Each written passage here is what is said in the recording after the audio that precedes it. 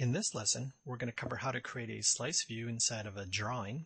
The file that I have open is called breakoutview.idw and it can be found in your Chapter 5 exercise folder.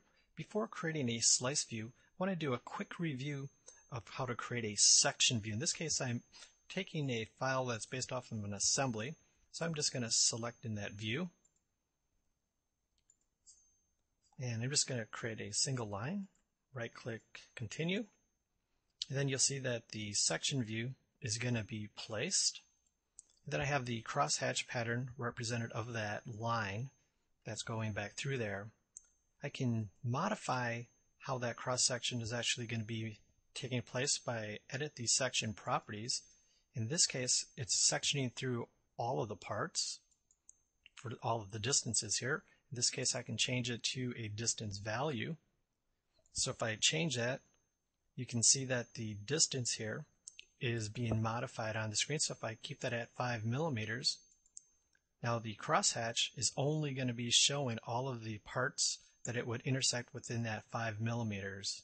So the other part that we can do, if I slide back over here to the breakout and expand the assembly itself, you can designate which components are going to be sectioned or not so that's pretty helpful to do, but I just want to do a quick review how the, the section view is. So I'm going to go ahead and delete that.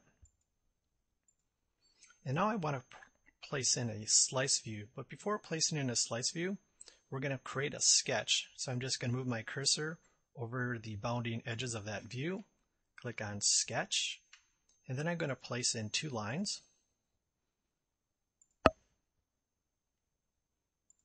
And these lines are going to represent where I want those cross sections to take place.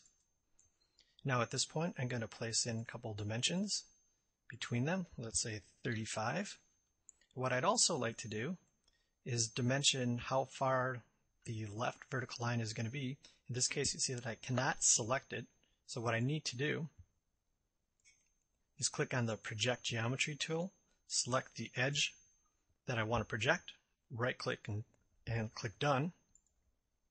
And then let's go back and apply our general dimension from that point to that line. And let's put it, at this case, at 45 millimeters.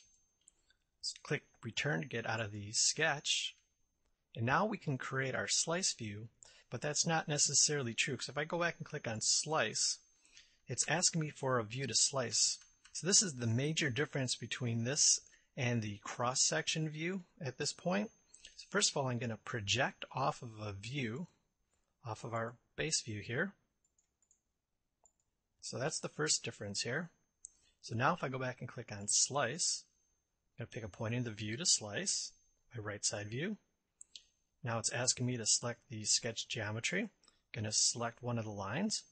In this case, both lines were selected. They're part of the same sketch and I want to slice through all parts, so I'll click on that option.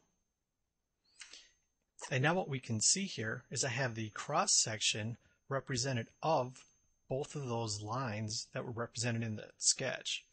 Again, if I go back to the browser, you'll notice I have the option called slice. If I double click on the sketch, you can go back and you can modify the uh, location of those sketch lines. So if I change that back to, let's say, uh, 32 do return. You can see absolutely what's happening with those cross section lines. So think of these as zero depth cross sections. And just like we were able to do in the section, I can expand that assembly and right click section properties or section participation and select which one do I want to do. In this case, I'm going to click none. With the participation set to none, you'll notice that nothing happened. And the reason that nothing happened, from my slice, if I go back and edit the slice view, you'll notice that it says slice all parts. So that's exactly what it's doing. So that's an override, if you will. In this case, we'll go ahead and click OK. And you notice now I'm not getting any slice done because it's basically told to do none. So now what I can do is I can add participants to this. So let's go back and add that to a slice. And I'll just grab another one as well. And that's how you do the slice tool.